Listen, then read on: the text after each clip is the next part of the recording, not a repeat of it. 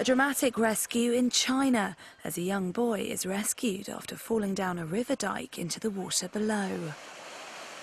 The 13 year old fell into the fast flowing river in China's Guizhou province, with firefighters being called to the site to help him.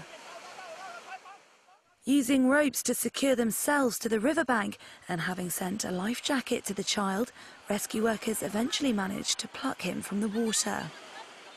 He suffered minor injuries and was taken to a nearby hospital for treatment.